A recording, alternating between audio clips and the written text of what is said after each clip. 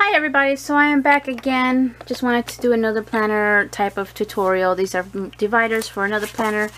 Um, I didn't record myself the first time I did dividers in my Webster's pages, which I'm going to show you in a second. So I have this Color Crush Webster's pages um, from Joann's.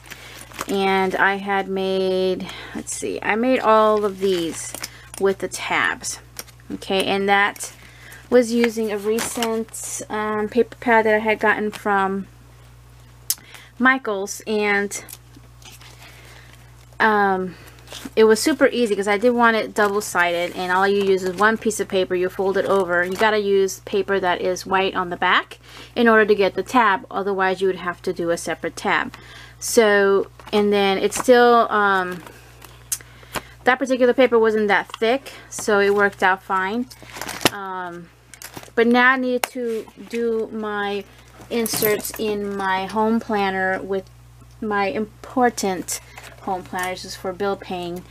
Um, I have been using these dividers from Target and let me double check here because alright so because I don't want you to see things that you shouldn't be seeing but as you can see when I was redoing this I, I did this really fast because I have switched from the three ring Target binder to this and I just redid holes quickly you know to get it all in here and I haven't and this has been over a year I think since I've been using um, an A5 planner. So I need to redo those and I'm also going to be retaping my sheets that I have stuff written down there because all the holes look bad.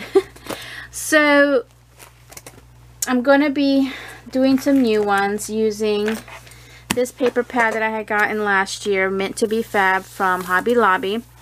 And I think, I don't know, maybe it's the same thickness as the one from um, Michaels. But either way, I'm going to do the same thing.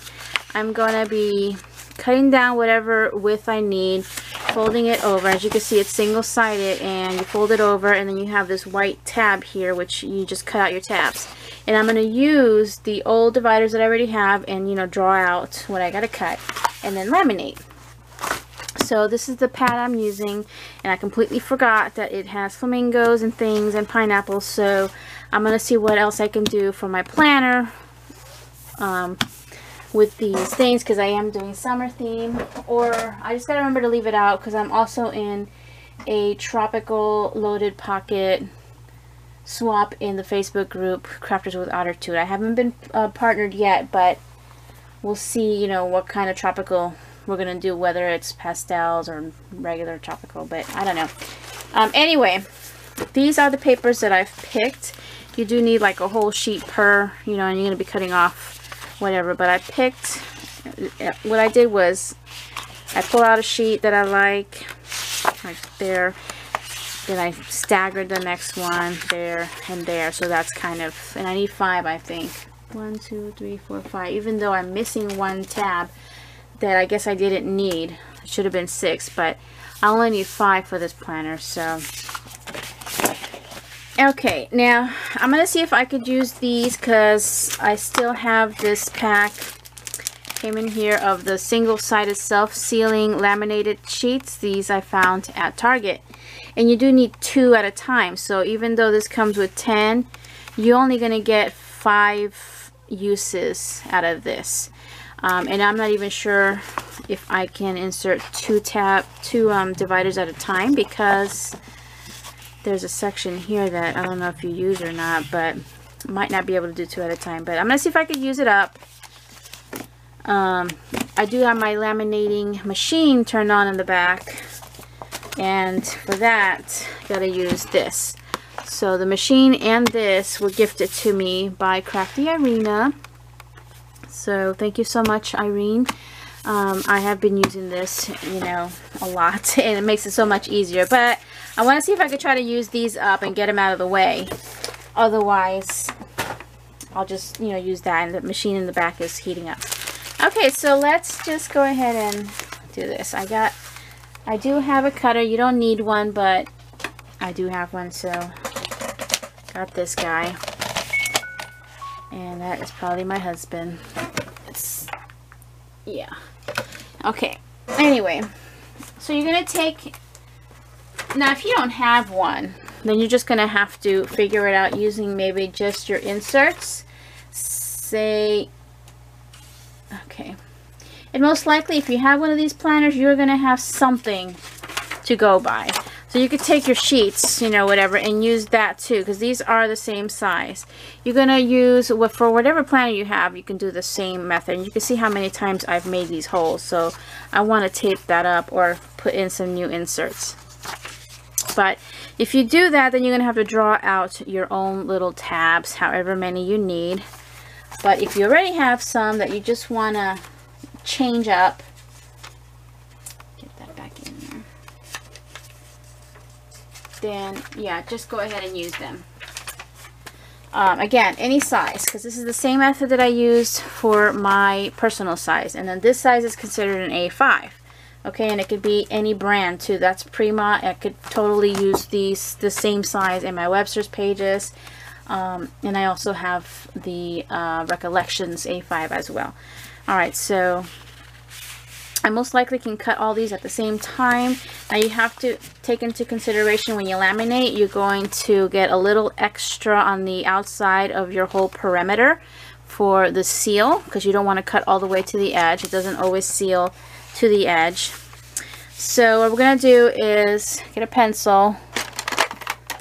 Hopefully I'm in frame because lately I have not been doing very well staying in frame. And you're going to mark um, and I don't care if it's going to be slightly bigger with that little extra edge that I'm going to get. You're going to mark the width. And I'm just going to cut everything all in one shot. Well, no, I can't now with this cutter. I might have to do two at a time. Let's just do a couple at a time because this is kind of thick. Okay, so just get them together and then cut them, you know, more than one at a time. However many you can cut through your, your cutter. Or use a straight blade, I mean a straight edge like a metal ruler and then use one of those rollers or a craft knife. So, and then save this of course for some other projects. Now I'm going to mark the other ones and do the same thing. Where did I put my pencil? So they're just all going to be the same. I'm going to try three this time since that's what's left.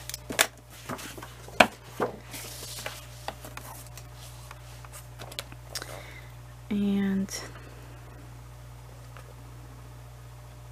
I remember with this cutter here that the blade actually cuts to the left of the wire. What am I doing here? So not, you don't want to mark right on the line. There we go. So I can cut three at a time, I guess. Alright, so I wonder if this is the same size as my little micro, because that would be a cute little yeah I'm getting distracted here all right so we have the width which is you know the up and down part and now what I'm going to do is one at a time I am going to how did I do this last time? I forgot. You know I should turn these on yeah I'm gonna leave them so what I'm going to do here is I'm going to turn it backwards or inside out, I guess that would be. Put it to my edge here on the left side. Mark, whoops, get, get a grip. Mark the right side. And I'm going to fold it right there. Right there. And you can also just fold it, you know, in your hands and fold it to where, you know, or make a mark there, which I probably should have just done on the outside, It'd be easier, and I can just erase that. now we're going to fold it on that little mark we made, and we're going to crease it really nicely. You want to be as flat as possible. Alright, and if you want to just erase that mark. Now what's cool about this is after you've laminated this, if you do not seal this part here, what you could do is cut where you sealed with the lamination all the way to the edge and then this will open up a pocket for you to use. Um, that would be really cool. So now you see I have this big part here. So we're going to take our divider once again and you're going to trace, I need to move this a little more. You're going to butt it up against the edge there and you're going to trace that tab. Okay. You're going to trace that tab. You're going to cut here and here and then just with scissors cut there. Or you can do with scissors the whole thing, which I probably just could do that.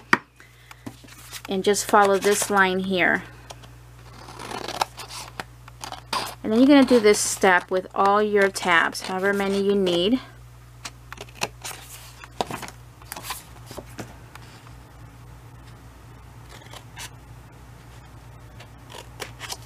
And what I'm going to do is just I'm having a shaky hand lately so I'm just going to try to oops I'm try to cut it straight lines first and here and around that little corner I can get a grip because I do want that little turn there and this way Okay, and again, if you see any pencil mark, just erase. So now I have myself a little tab. Looks like a folder, but it's not going to be that because you're going to laminate this shut. Now, do that to all your pages. And before you run it through the laminator, you're going to write in or type out however you want to put your titles. You want to do that first and then you're going to run it through. So I'm going to go ahead and make all these up first and then I'll be back. Alright everybody, so now I have all of them folded and cut and you can see I have all my tabs. And again, this used to be a six tab um, collection from Target, but one of them I didn't need. So now you can glue these down but if you're going to be sealing it it doesn't need to be you can corner cut corner chomp your corners if you'd like I'm just going to leave them like that but before I start I want to write in what these tabs are. So I'm going to be using my Papermate Flair black pen and write in just you know neatly but I'm not that neat anyway. But it doesn't matter because this is mine. Um, and I'm just gonna write what I had in before. So this section was like notes section. It was just filled with line paper and um, you know I'll write notes related to my home family anything that I need to remember lists or whatnot so that's pretty much it and I'm going to continue doing that and then we're going to laminate. Okay, so here we go. This one's going to be the hard part. Um, I think these sheets are sticky, so it's going to make it harder to use, but we're going to try it. I do have more than one of each of these sheets, so I can redo it if I have to. So let's just see here. It tells you one, take off the little thing that's back here okay take this off and place the front side of the object up on a flat surface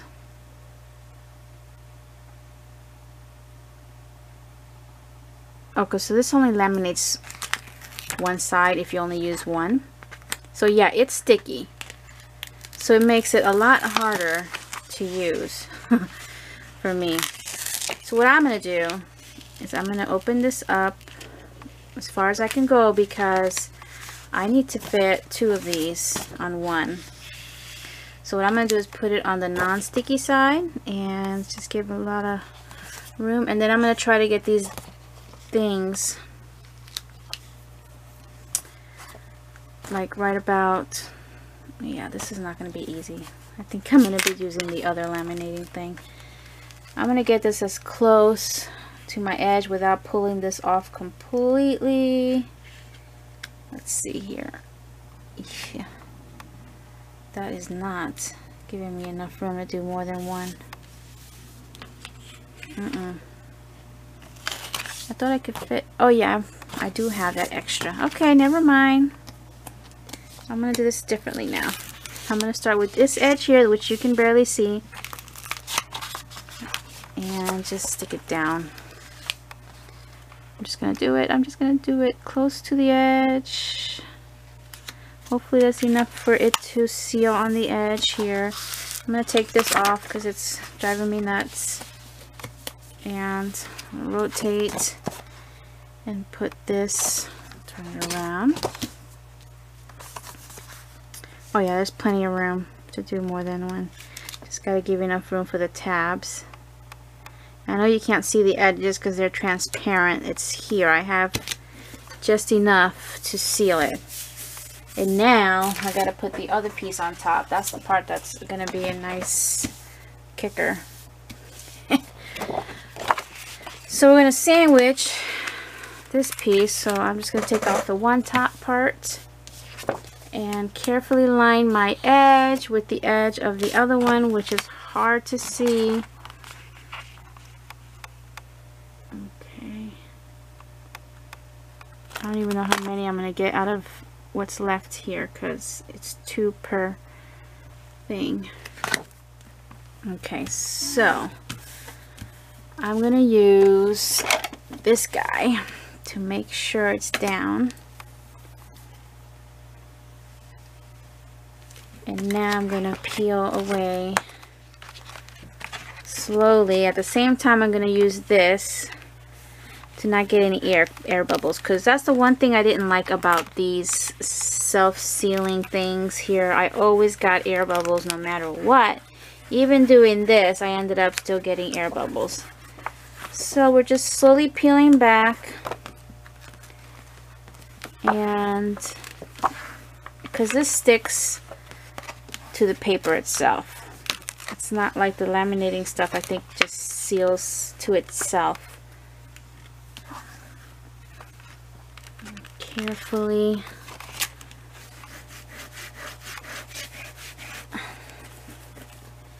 especially these little edges here.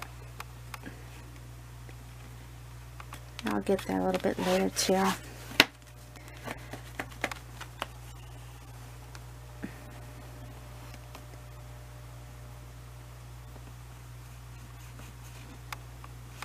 Okay, and then just keep peeling away.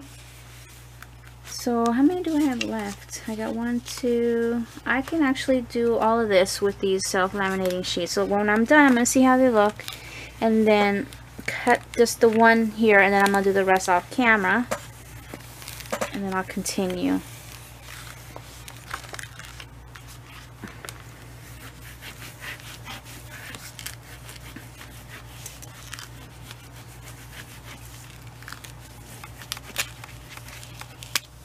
Yay! Well, at least one side doesn't have bubbles. I don't know about the other side. So we'll find out in a second. This one that's got a thinner edge. So now I'm just trying to make sure that I'm sealing all my edges.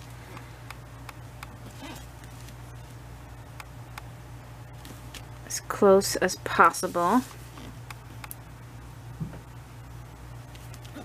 I might not need my laminating machine today. I think we're good.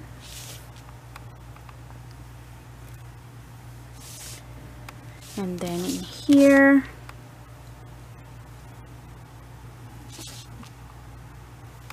you actually can seal this even closer to the uh, edge of your papers with this type of laminating only because it's sticky. So that's like one of the good things about that. But it's more expensive. You have to use two at a time. Alright, let's go to the back. Oh, yay, no bubbles. So no bubbles back there. Sweet. I'm just going to do this one more time, but just a little quicker. Just so I know we're good. Now it does feel different than the other one, than the one that you use your laminating machine. It's more plasticky. It, it folds better here. Like if you were to use this for your um, traveler's notebooks, that'd be great to make your inserts when you need them to fold like that. So that would be a good thing because look at how easy that folds without me having to crease it. Alright, so let's just go ahead and cut this up. I'm glad I didn't get any air bubbles because in the past, you see here, you can kind of, I don't know if you could see it, there's air bubbles there and that's how I used to get on the paper when I used to use this stuff. So, that wasn't cool.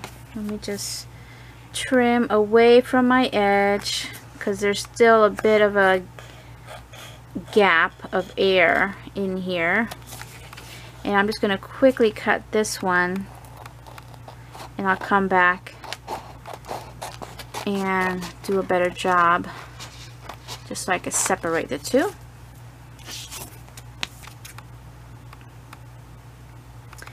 So yeah, using these sheets takes a little longer. You got to be more careful. Take your time.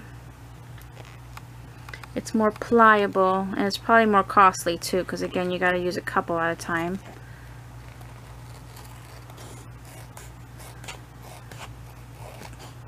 But I had first bought this pack. I have only bought two in the past. Just because it was at the stores, readily available, and I didn't have a machine. So if you don't have a machine, it's a great way just to start out, see if you like it. Okay, so here's my first one. You see it's a little flimsier compared to when you're using the um, machine.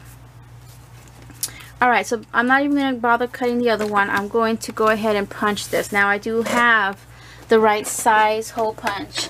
This is from Recollections, I believe, that I found at Michael's. It's not adjustable. It's just for the one size for the A5. Um, but you can use your regular hole punch just use your pre-existing inserts line it up to this and then use your hole punch so I'm just going to slide this in here get it in the middle and punch and sometimes it gets stuck because of the plastic and I know because this has dots you can't really see the holes but you can see right there. And let's see if I can insert this and show you. I can't show you what's in here so I'm gonna open this up. I'm gonna leave the old insert to block the addresses because I do have like an address book type of thing in here alright? So here we go. I'm just gonna put this one in. And it fits perfectly. I'm gonna close this up and now I could see I have a fresh new divider in here and voila so I am done. Well, I'm done with the one. I'm going to do the rest off camera. So you don't need to see me do all that. See? Easy. Um, and it works just fine.